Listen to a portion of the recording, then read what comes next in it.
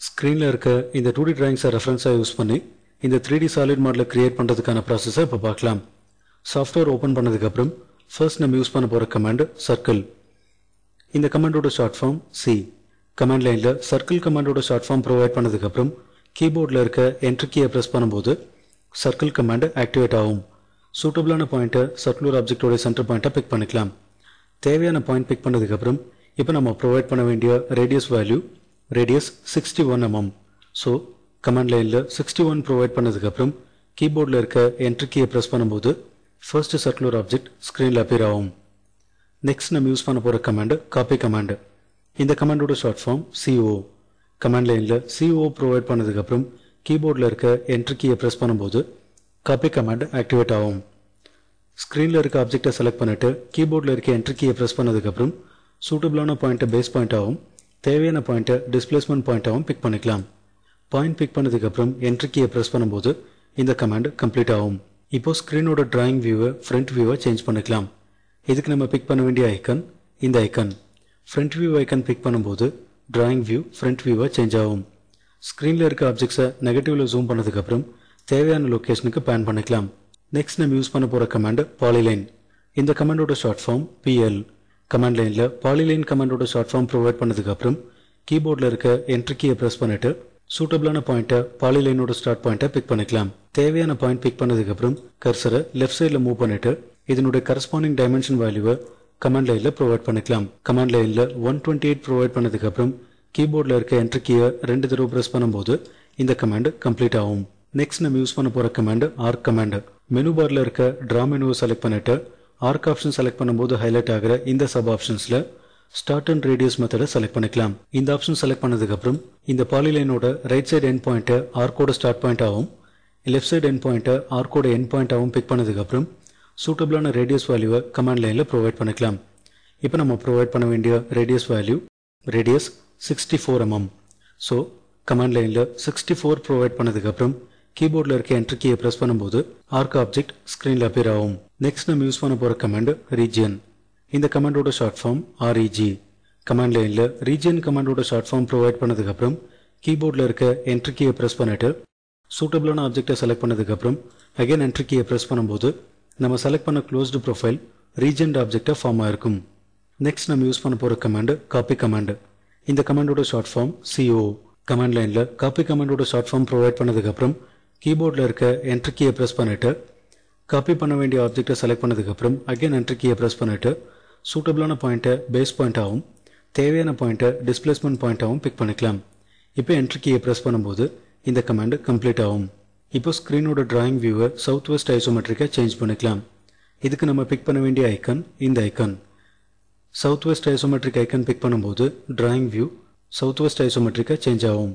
Next நம்ம use பண்ண போகிற கமாண்ட் எக்ஸ்ட்ரூட் இந்த கமாண்டோட ஷார்ட் ஃபார்ம் இஎக்ஸ்டி கமாண்ட் லைனில் இந்த கமாண்டோட ஷார்ட் ஃபார்ம் ப்ரொவைட் பண்ணதுக்கப்புறம் கீபோர்டில் இருக்க என்ட்ரி கீயை ப்ரெஸ் பண்ணிட்டு சூட்டபிளான ஆப்ஜெக்டை செலக்ட் பண்ணிக்கலாம்.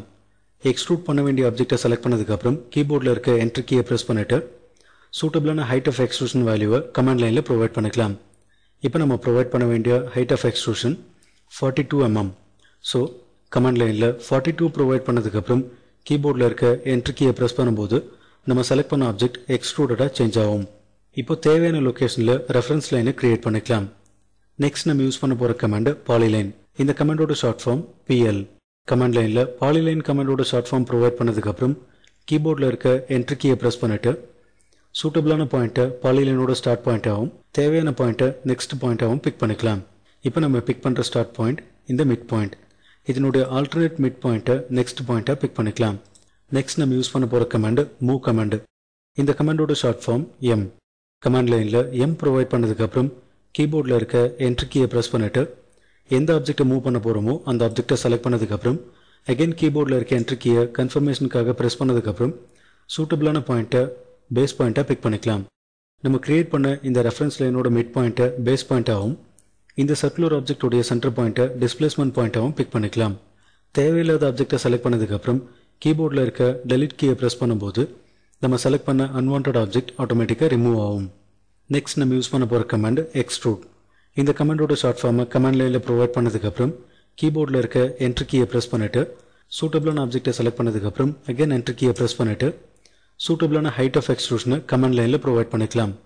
இப்போ நம்ம ப்ரொவைட் பண்ண வேண்டிய height of extrusion forty two mm comment லைனில் ஃபார்ட்டி டூ ப்ரொவைட் பண்ணதுக்கப்புறம் கீபோர்டில் இருக்க என்ட்ரி கீயை ப்ரெஸ் பண்ணும்போது இந்த ஆப்ஜெக்ட் எக்ஸ்ட்ரூடடாக சேஞ்ச் ஆகும். இப்போ ஸ்க்ரீனில் இருக்க ஆப்ஜெக்ட்ஸை சூட்டபிளான சைஸ்க்கு ஜூம் பண்ணிக்கலாம்.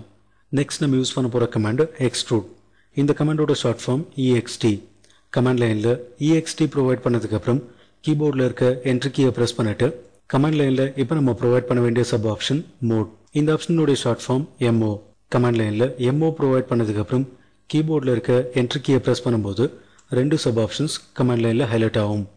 ஜென்ரலாக நம்ம கிரியேட் பண்ணுற எக்ஸ்ட்ரூட் சாலிடாக ஃபார்ம் ஆகும். சப்போஸ் சர்ஃபேஸாக ஆப்ஜெக்டை எக்ஸ்ட்ரூட் பண்ணணும் அப்படின்னா சர்ஃபேஸ் மோடாக சேஞ்ச் பண்ணிக்கலாம். ஸோ சர்ஃபேஸ் ஆப்ஷனுடைய ஷார்ட் ஃபார்ம் எஸ்யூ கமெண்ட் லைனில் ப்ரொவைட் பண்ணதுக்கப்புறம் கீபோர்டில் இருக்க என்ட்ரி கீயை ப்ரெஸ் பண்ணிவிட்டு ஆப்ஜெக்டை செலக்ட் பண்ணதுக்கப்புறம் சூட்டபிளான ஹைட்க்கு பிக் பாயிண்ட்டை பிக் பண்ணி இந்த ஆப்ஜெக்டை எக்ஸ்ட்ரூட் பண்ணிக்கலாம். அகைன் கீபோர்டில் இருக்க என்ட்ரி கீயை ப்ரெஸ் பண்ணிவிட்டு சூட்டபிளான ஆப்ஜெக்டை செலக்ட் பண்ணதுக்கப்புறம் கீபோர்டில் இருக்க என்ட்ரி கீயை ப்ரெஸ் பண்ணிவிட்டு தேவையான டைரக்ஷனில் கர்சரை மூவ் பண்ணி பிக் பாயிண்ட்டை பிக் பண்ணி இந்த ஆப்ஜெக்டிவ் சர்ஃபேஸை சேஞ்ச் பண்ணிக்கலாம். இப்போ ஸ்க்ரீனில் இருக்க ஆப்ஜெக்ட்ஸை சூட்டபிளான லொக்கேஷனுக்கு மூவ் பண்ணிக்கலாம். தேவையான ஆப்ஜெக்டை செலக்ட் பண்ணதுக்கப்புறம் சூட்டபிளான கண்ட்ரோல் பாயிண்ட்டை பிக் பண்ணி தேவையான லொக்கேஷனுக்கு இந்த ஆப்ஜெக்டை மூவ் பண்ணிக்கலாம். இந்த பாட்டம் சர்க்குலர் ஆப்ஜெக்டோடைய இந்த சென்டர் பாயிண்ட்ல நம்ம செலக்ட் பண்ண இந்த ஆப்ஜெக்டை மூவ் பண்ணி பிளேஸ் பண்ணிக்கலாம். இப்போ கீபோர்டில் இருக்க எஸ்கேப் கீயை ப்ரெஸ் பண்ணும்போது செலெக்ஷன் டீசெலக்ட் ஆகும். இப்போ ஸ்க்ரீனில் இருக்க ஆப்ஜெக்ட்ஸோட விஷுவல் ஸ்டைலை ஷேடடாக சேஞ்ச் பண்ணிக்கலாம். இதுக்கு நம்ம பிக் பண்ண வேண்டிய ஐக்கன் இந்த ஐக்கன் கான்செப்டுவல் விஷுவல் ஸ்டைல் இந்த ஐக்கனை பிக் பண்ணும்போது ஸ்க்ரீனில் இருக்க ஆப்ஜெக்ட்ஸ் ஷேடடாக அப்பியர் ஆகும். நெக்ஸ்ட் நம்ம யூஸ் பண்ண போகிற கமாண்ட் ஸ்லைஸ் கமாண்ட் கமாண்ட் லைனில் ஸ்லைஸ் கமாண்ட் ப்ரொவைட் பண்ணதுக்கப்புறம் கீபோர்டில் இருக்க என்ட்ரி கீயை ப்ரெஸ் பண்ணிவிட்டு ஸ்லைஸ் பண்ண வேண்டிய ஆப்ஜெக்டை செலக்ட் பண்ணதுக்கப்புறம் கீபோர்டில் இருக்க என்ட்ரி கீயை ப்ரெஸ் பண்ணிவிட்டு சர்ஃபேஸ் ஆப்ஷனுடைய ஷார்ட் ஃபார்ம் எஸ் கமாண்ட் லைனில் ப்ரொவைட் பண்ணதுக்கப்புறம் கீபோர்டில் இருக்க என்ட்ரி கீயை ப்ரெஸ் பண்ணிவிட்டு சூட்டபிளான கட்டிங் சர்ஃபேஸை செலக்ட் பண்ணதுக்கப்புறம் கீபோர்டில் இருக்க என்ட்ரி கீயை ப்ரெஸ் பண்ணும்போது நம்ம செலக்ட் பண்ண ஆப்ஜெக்ட் ஆட்டோமேட்டிக்காக ஸ்லைஸ் ஆகும். தேவையில்லாத ஆப்ஜெக்ட்ஸை ஒன் ஆஃப்டர் அனதரை செலக்ட் பண்ணதுக்கப்புறம் கீபோர்டில் இருக்க டெலிட் கீயை ப்ரெஸ் பண்ணும்போது நம்ம செலக்ட் பண்ணுற ஆப்ஜெக்ட்ஸ் ஆட்டோமேட்டிக்காக ரிமூவ் ஆகும்.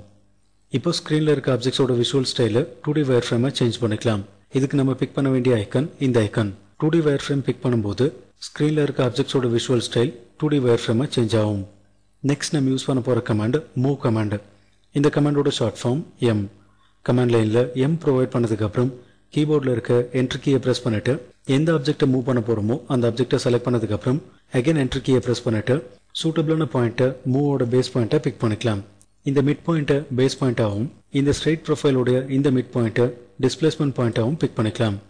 இப்போ ஸ்க்ரீனில் இருக்க அன்வான்ட் ஆப்ஜெக்டை செலக்ட் பண்ணி டெலிட் கீயை ப்ரெஸ் பண்ணி ரிமூவ் பண்ணதுக்கப்புறம் கான்செப்டுவல் விஷுவல் ஸ்டைல் இந்த ஐக்கனை பிக் பண்ணும்போது ஆப்ஜெக்ட்ஸோட விஷுவல் ஸ்டைல் ஷேடடாக சேஞ்ச் ஆகும்.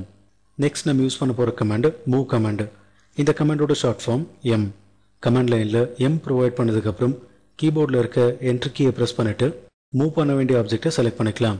தேவையான ஆப்ஜெக்டை செலக்ட் பண்ணதுக்கப்புறம் கீபோர்டில் இருக்க என்ட்ரி கீயை ப்ரெஸ் பண்ணிவிட்டு சூட்டபிளான பாயிண்ட்டை பேஸ் பாயிண்ட்டாகவும் தேவையான பாயிண்ட்டை டிஸ்பிளேஸ்மெண்ட் பாயிண்ட்டாகவும் பிக் பண்ணிக்கலாம். நெக்ஸ்ட் நம்ம யூஸ் பண்ண போகிற கமாண்டு ஸ்லைஸ் கமாண்டு கமாண்ட் லைனில் ஸ்லைஸ் கமாண்ட் ப்ரொவைட் பண்ணதுக்கப்புறம் கீபோர்டில் இருக்க என்ட்ரி கீயை ப்ரெஸ் பண்ணிட்டு ஸ்லைசிங் ஆப்ஜெக்ட் கேட்கும்போது இந்த சாலிட் ஆப்ஜெக்ட்டை ஸ்லைசிங் ஆப்ஜெக்டை செலக்ட் பண்ணிக்கலாம். இப்போ என்ட்ரி கீயை ப்ரெஸ் பண்ணிட்டு சூட்டபிளான ஸ்லைசிங் மெத்தடை கமாண்ட் லைனில் ப்ரொவைட் பண்ணிக்கலாம்.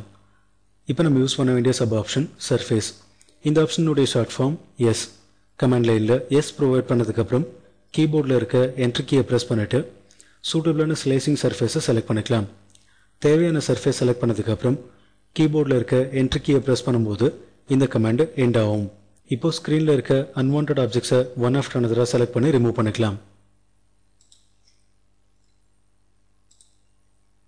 அன்வான்ட் ஆப்ஜெக்ட்ஸை ரிமூவ் பண்ணதுக்கப்புறம் ஸ்க்ரீனில் இருக்க ஆப்ஜெக்ட்ஸை மவுஸோட ஸ்க்ரோல் பட்டனை டபுள் கிளிக் பண்ணி ஃபிட் ஸ்க்ரீனை சேஞ்ச் பண்ணிக்கலாம்.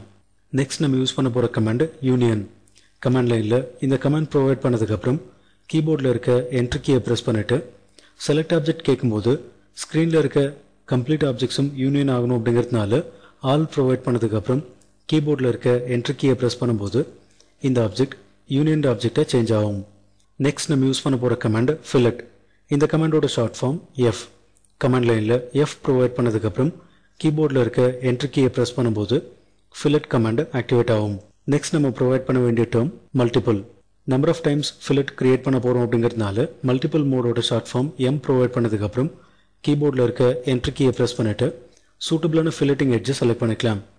தேவையான எட்ஜை செலக்ட் பண்ணதுக்கப்புறம் கமாண்ட் லைனில் ஃபில்லட் ரேடியஸ் கேட்கும்போது இப்போ நம்ம ப்ரொவைட் பண்ண வேண்டிய radius twenty mm so command லைனில் டுவெண்ட்டி ப்ரொவைட் பண்ணதுக்கப்புறம் என்ட்ரி கீயை ப்ரெஸ் பண்ணிவிட்டு கமாண்ட் லைனில் சி ப்ரொவைட் பண்ணதுக்கப்புறம் என்ட்ரி கீயை ப்ரெஸ் பண்ணிவிட்டு சூட்டபிளான எட்ஜஸை ஒன் ஆஃப் அனதில் செலக்ட் பண்ணிக்கலாம். கீபோர்டில் இருக்க ஷிஃப்ட் கீயும் மவுஸோட ஸ்க்ரோல் பட்டனையும் ப்ரெஸ் பண்ணி இந்த ஆப்ஜெக்டை தேவையான டைரக்ஷனுக்கு டேர்ன் பண்ணிக்கலாம். இப்போ தேவையான எட்ஜஸை ஒன் ஆஃப் அனதரை செலக்ட் பண்ணிக்கலாம். எட்ஜஸ் செலக்ட் பண்ணதுக்கப்புறம் கீபோர்டில் இருக்க என்ட்ரி கீயை ரெண்டு தடவை ப்ரெஸ் பண்ணும்போது நம்ம செலக்ட் பண்ண எட்ஜஸ் ஃபில்லட்டடாக சேஞ்ச் ஆகும். இப்போ கீபோர்டில் இருக்க ஷிஃப்ட் கீயும் மவுஸோட ஸ்க்ரோல் பட்டனையும் ப்ரெஸ் பண்ணி ஸ்க்ரீனில் இருக்க ஆப்ஜெக்டை தேவையான டைரக்ஷனுக்கு டேர்ன் பண்ணிக்கலாம். நெக்ஸ்ட் நம்ம யூஸ் பண்ண போகிற கமாண்டு ஷெல் கமாண்டு மெனு பாரில் இருக்க மாடிஃபை ஆப்ஷன் செலக்ட் பண்ணதுக்கப்புறம் இதில் இருக்க சாலிட் எடிட்டிங் ஆப்ஷன் செலக்ட் பண்ணதுக்கப்புறம் இந்த லிஸ்ட்டில் நம்ம செலக்ட் பண்ண வேண்டிய ஆப்ஷன் இந்த செகண்ட் சப் ஆப்ஷன் ஷெல் இந்த ஆப்ஷன் செலக்ட் பண்ணதுக்கப்புறம் கமாண்ட் லைனில் த்ரீ டி சாலிட் கேட்கும்போது ஸ்க்ரீனில் இருக்க ஆப்ஜெக்டை கம்ப்ளீட்டாக செலக்ட் பண்ணிக்கலாம். ரிமூவ் ஃபேஸ் கேட்கும்போது இந்த ஆப்ஜெக்டுடைய இந்த சர்ஃபேஸை செலக்ட் பண்ணிக்கலாம். தேவையான சர்ஃபேஸ் செலக்ட் பண்ணதுக்கப்புறம் கீபோர்டில் இருக்க என்ட்ரி கீயை ப்ரெஸ் பண்ணிவிட்டு ஷெல் ஆஃப்செட் டிஸ்டன்ஸ் கமெண்ட் லைனில் கேட்கும்போது இப்போ நம்ம ப்ரொவைட் பண்ண வேண்டிய offset distance one point five mm so comment லைனில் ஒன் பாயிண்ட் ஃபைவ் ப்ரொவைட் பண்ணதுக்கப்புறம் கீபோர்டில் இருக்க என்ட்ரி கீயை ப்ரெஸ் பண்ணும்போது இந்த ஆப்ஜெக்ட் ஷெல்ட் ஆப்ஜெக்டாக சேஞ்ச் ஆகும். இப்போ ஸ்க்ரீனோட டிராயிங் வியூவை சவுத் வெஸ்ட் ஐசோமெட்ரிக்காக சேஞ்ச் பண்ணிக்கலாம். இதுக்கு நம்ம பிக் பண்ண வேண்டிய ஐக்கன் இந்த icon south west isometric pick பண்ணும்போது டிராயிங் வியூ சவுத் வெஸ்ட் ஐசோமெட்ரிக்காக சேஞ்ச் ஆகும். இதுதான் ஸ்க்ரீனில் இருக்க இந்த டூ டி டிராயிங்ஸை ரெஃபரன்ஸாக யூஸ் பண்ணி இந்த த்ரீ டி சாலிட் மாடலை கிரியேட் பண்ணுறதுக்கான ப்ராசஸ்